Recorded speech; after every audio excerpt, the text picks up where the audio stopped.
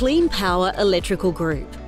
The lighting upgrade to the northern precinct of the Harbour Town Premium Outlet Centre near Adelaide Airport and the upgrade of the power and lighting in the existing amenities and parents' room was the largest project undertaken to date by Clean Power Electrical Group.